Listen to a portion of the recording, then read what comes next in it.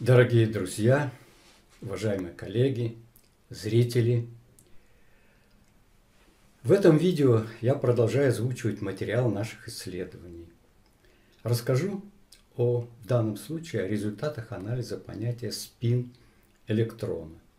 Происхождение этого понятия связано в физике с вычислением орбитального тока и орбитального магнитного момента электрона в атоме водорода – Посмотрите, к какому удивительному, шокирующему выводу мы пришли в результате. Проводимый нами, нами анализ ошибочности базовых теоретических концепций современной физики носит конструктивный характер. Это значит, что раскрывая неадекватность рассматриваемых концепций и ошибочность решений на их основе, мы предлагаем новые, адекватные реальности. Благодаря адекватности новых концепций полученные на их основе решения оказались уникальными.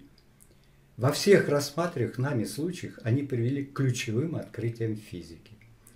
В предыдущем видео, вот его адрес, можно открыть, посмотреть, показана ошибочность концепции Большого взрыва, Биг Бэнг, и происхождение микроволнового космического фона а также виртуальных частиц квантовой электродинамики, используемых для объяснения природы лэмбовского сдвига. Упоминалось, но не рассматривается с нами, ошибочность привлечения виртуальных частиц для объяснения аномального магнитного момента электрона. Прежде чем приступить к рассмотрению природы аномальности магнитного момента электрона, необходимо ознакомиться с концепцией собственных моментов электрона – спиновым и спиновым магнитным. Этому и посвящено данное видео. Покажем ошибочность введения в физику указанных понятий, в том числе численных значений, приписанных им. Ну вот значение для спина электрона половинка h с чертой, h бар по-английски. А э, спинового магнитного момента Е на H с чертой, деленное на 2 МЕЦ, где МЕ – это масса электрона, а С – скорость света. Как появилось в физике понятие спин электрона? Причем такой относительно огромной величины, как H с черточкой пополам. И почему огромный, и что такое H с черточкой, объясним все по порядку. Параметр, параметр H с черточкой – это постоянная планка, деленная на 2π. Называется приведенная постоянная планка или постоянный Дирака. Постоянная планка H считается фундаментальной физической постоянной, основной константой квантовой физики. Представленный здесь материал опубликован вот в этой книжке. Ну, в частности, в этой книжке, потому что еще есть другие публикации – посвященные этой самой этой тематике. По величине постоянная h с чертой, h-бар, в точности равна орбитальному моменту импульса электрона на первой боровской орбите, согласно Резерфорд боровской атомной модели, является квантом этого модели, момента. Согласно принципу неопределенности, скорость частички v ее местоположение R не могут быть определены одновременно, поэтому формула вот эта 1, где есть V и R, и формула для H, вот эта формула для постоянной планка, не имеет, не имеет смысла в квантовой теории, поскольку указанные два параметра присутствуют в, присутствуют в обоих этих формах. И потому данные равенства не упоминаются в квантовой теории, замалчиваются. Однако история введения понятия спина электрона связана с данными формулами.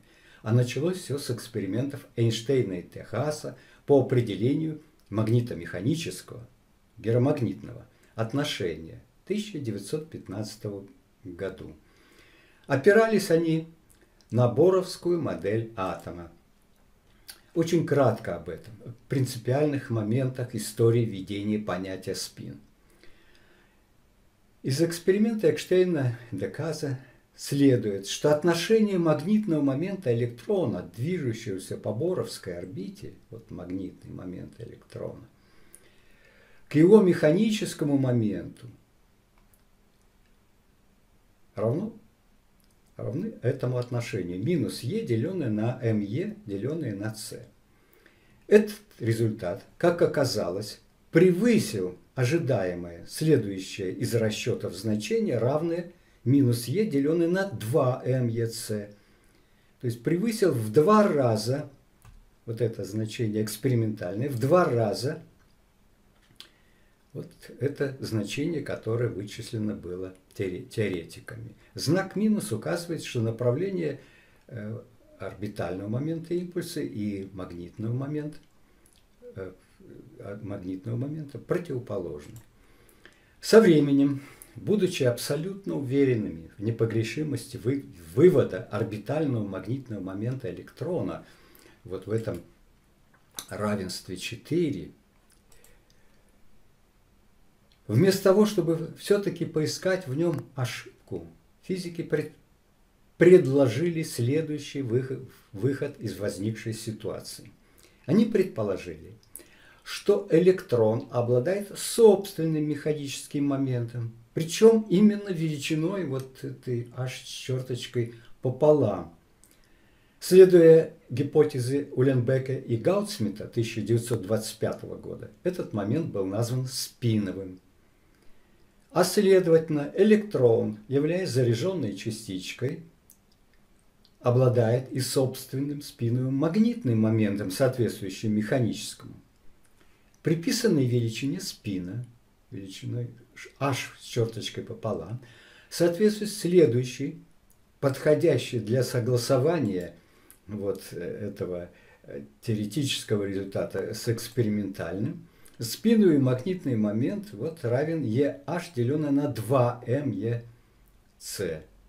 Таким образом, была найденная, утерянная половинка вот в этом равенстве 4.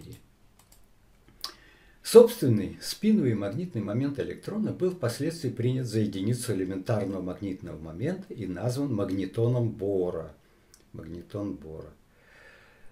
Введя данный постулат о спине электрона и путем откровенной подгонки, касающейся величин спина и соответствующего ему магнитного момента, физики пришли к нужному, совпадающему с полученным в эксперименте Эйнштейна и Техаса отношению, отношением 3. То есть пришли вот к этому нужному соотношению, геромагнитному отношению. Ну, видите, добавили сюда вот рассчитанное ими значение, добавили еще такое же значение, получили вот минус е на МСЦ. Вернемся теперь к несогласующемуся с, с экспериментальным значением 3, вот этому выражению 4. Выражению 4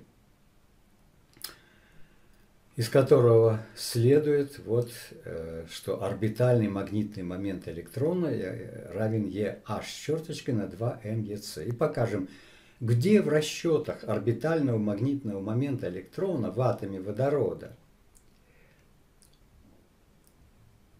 то есть в равенствах 4 и в этом равенстве 7, была допущена грубая ошибка, на которую до нас никто не обратил внимания, просто не видел ее. Вычисление физиками орбитального магнитного момента электрона в атоме водорода осуществлялось, как описано в литературе, в том числе в учебниках по физике, по простой формуле. Посмотрите, очень простая формула, определяющая магнитный момент замкнутого электрического контура.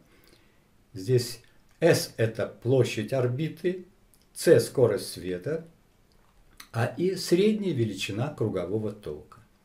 Следуя определению тока, используемый в электротехнике, как потока электрического заряда, или в кавычках электронной жидкости в проводнике, средняя величина силы электрического тока И, создаваемой движущимся по орбите электроном, определялась вот по этой формуле. Значит, заряд электрона мы делим на вот, э, период обращения электрона. Итак, Т это период обращения электрона, имеющего заряд Е, по орбите. Отсюда орбитальный момент вычислены теоретиками на базе вот этой э, формулы, этого значения тока, равен E аж перечеркнуто на 2 МЕЦ. У меня тут поставлены вопросительные знаки. Дело в том, что вот здесь как раз и допущена ошибка. Где же эта ошибка? Ответ простой. В вычислении кругового тока по формуле 9. По формуле 9. Рассмотрим, какова в действительности средняя величина тока, создаваемая одиночным дискретным зарядом, движущимся по замкнутой траектории. В общем случае перенос заряда Е элементарной частицей, электроном, через любое сечение, поперечное сечение, по любой траектории за время t сопровождается его исчезновением с одной стороны, вот минус е, точка А, произвольного сечения, и появлением на другой стороне произвольного сечения плюс е, точка Б. Вот как показано на этом рисунке. Итак, я тут подробно хочу рассказать, чтобы всем было понятно. Итак, за время t исчезновение заряда с левой стороны сечения означает уменьшение заряда слева от плюс Е до нуля. То есть на величину минус Е. А появление заряда с правой стороны сечения означает увеличение заряда справа от нуля до плюс Е, то есть на величину плюс Е. Здесь уменьшение на минус Е, здесь увеличение на плюс Е. Таким образом, за время t полное изменение заряда составляет дельта Е равняется плюс Е минус минус Е, то есть 2Е. Отсюда средняя скорость изменения заряда, то есть ток И за время t равно 2Е, деленное на t. А в случае круговой орбиты, когда точки А и B соединены вместе, точки совпадают, электрон, обладающим зарядом Е, проходит через поперечное сечение S со средней скоростью 2Е на Т орбитальное. Ну, вот видите, 2Е на Т орбитальное. А тут э, использованные э, физиками, теоретиками при объяснении эффекта Эйнштейна де Газа было отношение Е на Т орбитальное. А тут получается 2Е на Т орбитальное, где Т орбитальное есть период обращения электрона по круговой орбите. Подробно, попытаюсь подробнее еще объяснить, потому что это очень важный момент. С другой стороны, не нарушая сложившегося в физике определения средней величины силы тока, к формуле, вот к этой формуле 12, можно прийти следующим путем. Сплющим орбиту, как показано на рисунке, получили двухпроводный замкнутый электрический контур. Ток в двухпроводном замкнутом контуре. Рассмотрим. Электрон, двигаясь вдоль всего замкнутого контура, то есть за время полного оборота, Т орбитальное, и проходя в непосредственной близости от точки О сначала вверх, средний ток на левой половине траектории равен Е, деленное на половину вот этого времени, Т орбитальное пополам. Вот. А потом вниз средний ток на правой э, половине траектории равняется Е, деленное на э, половинку вот этого орбитального времени, на, на Т орбитальное, половина Т орбитальная. То есть этот заряд, ток генерируем этим зарядом, два раза создает поперечное вихревое магнитное поле в этой точке, вот в точке О. Сначала, проходя по левой а потом по правой части траектории от ее центра О. То есть, когда происходит, идет э, заряд, то он создает поперечное цилиндрическое магнитное поле. Вот один раз он создал поле, потом прошел второй раз вниз и опять цилиндрическое магнитное поле. То есть два раза э, создается этим одним тем же зарядом магнитное поле в этой э, точке. При этом привычная всем формула, следующая из принятого в физике определения средней величины силы тока и Е на Т, не нарушается.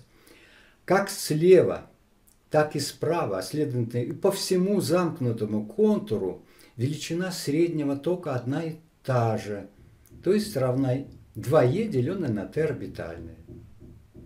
2Е на Т орбитальное. Электрон, как и любая другая элементарная частица, проявляет двойственность поведения и как частица, и как волны. Поэтому выведем формулу средней величины тока и для случая волнового движения электрона. Рассмотрим одномерный случай. Из хорошо известного решения волнового уравнения для струны длиной L, фиксированной с обоих концов, следует, что только одна полуволна фундаментального тона – помещается на полной ее длине. То есть длина струн, на длине струны укладывается половина длины волны. То есть L равняется лямбда 1, деленное на 2.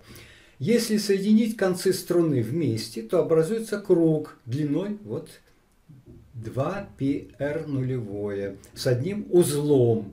В результате получим равенство. Вот это вот длина нашего значит, круга, на ней укладывается полуволна лямбда пополам.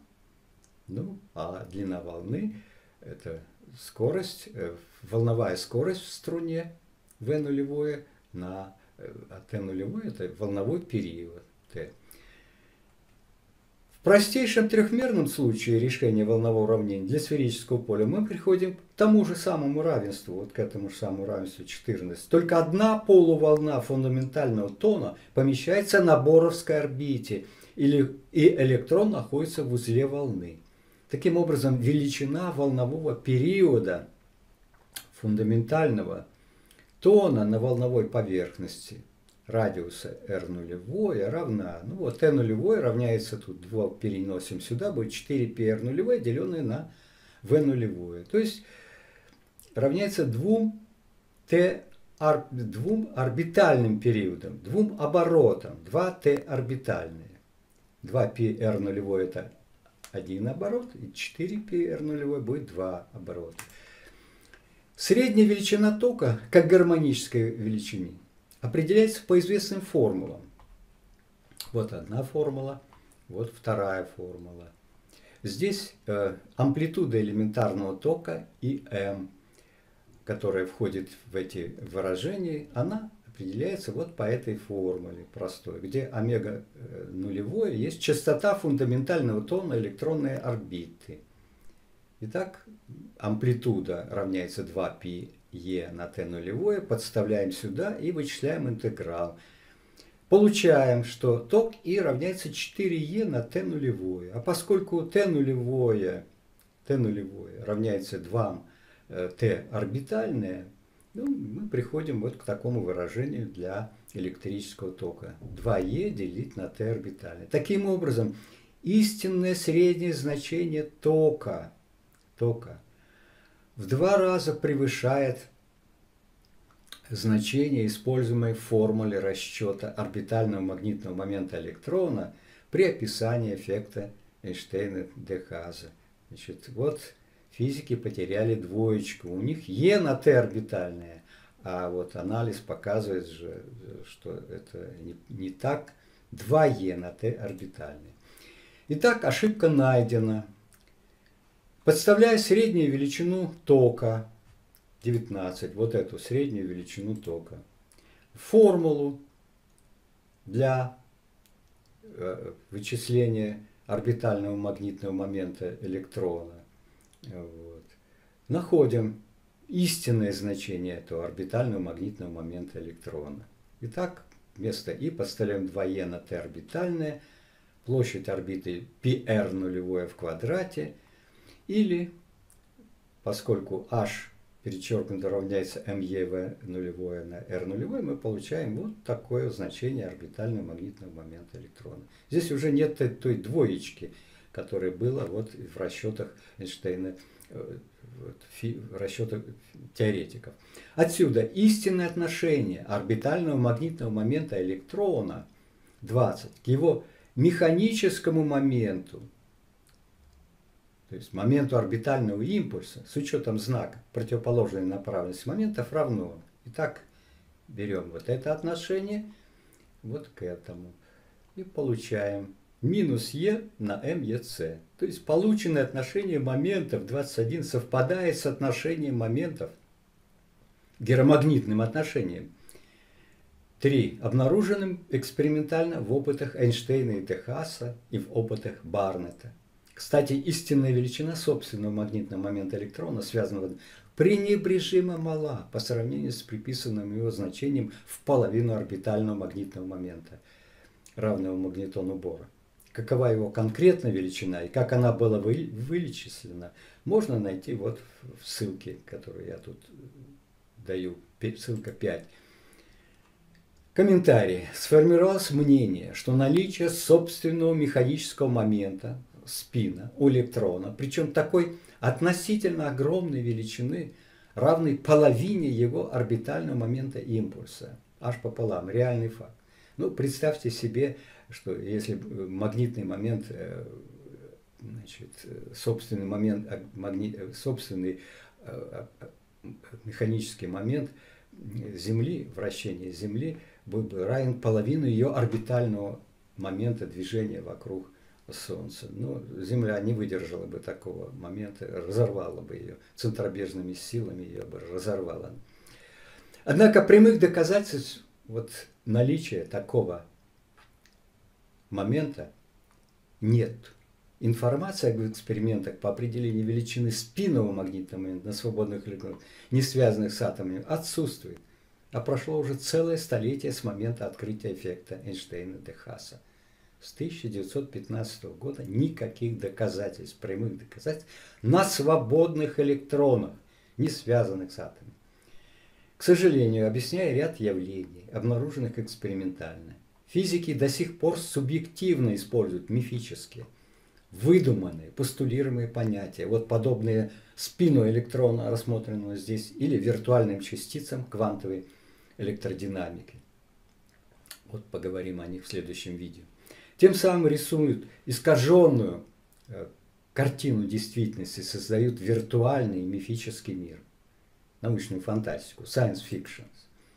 Заключение. Раскрыта грубейшая ошибка, допущенная в при вычислении среднего значения кругового тока, создаваемого дискретным зарядом, движущимся по замкнутому контуру описываемые во всех источниках, включая фундаментальные университетские учебники по физике, формула определения величины этого тока И равная Е на Т, как было показано нами, является ошибочной. Второе. Выяснена причина ошибки, определена истинная величина среднего значения кругового тока, которая на самом деле оказалась в два раза больше, а именно И равняется 2Е на Т орбитальное. Третье спин величиной h пополам, h, перечер, h с черточкой пополам, и спиновый магнитный момент, равный e h с черточкой, деленное на 2 mec, нереальные физические величины, приписанные электрону субъективно. Нет никаких экспериментальных доказательств, подтверждающих их наличие у свободных электронов. Четвертое. Последствия непростительной элементарной ошибки при вычислении кругового тока, наряду с другими сомнительными решениями теории стандартной модели, опирающиеся на мистические постулаты, могут быть устранены только путем замены существующей парадигмы физики. Литература, всего пять ссылок. Вот эта статья пятая, это обзорная, большая обзорная статья, вот она наиболее тут ну, она наиболее, больше всего информации в ней содержится. Благодарю за внимание.